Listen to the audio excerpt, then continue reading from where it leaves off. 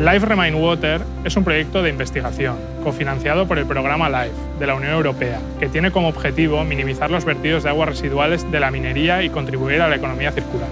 Para lograrlo, emplea un tren de tratamiento de aguas que permite minimizar el vertido al medio mediante una recuperación de más del 90% del agua para su posterior reutilización. Life Remain Water propone una mejora del tren de tratamiento físico-químico actual, basado en la precipitación de sulfato hidróxidos metálicos y etringita. Esta alternativa consiste en un sistema de nanofiltración que permite alcanzar concentraciones de sulfato significativamente menores. Newit contribue au projet Riemann Water de deux manières différentes.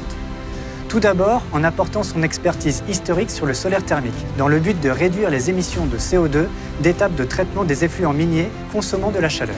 NUIP participe également au développement de nouveaux modèles économiques pour la valorisation des innovations validées au cours du projet.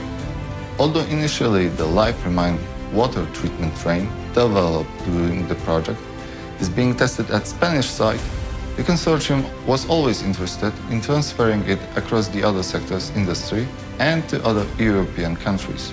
En definitiva, Life Remain Water es una apuesta por la economía circular y la minería sostenible.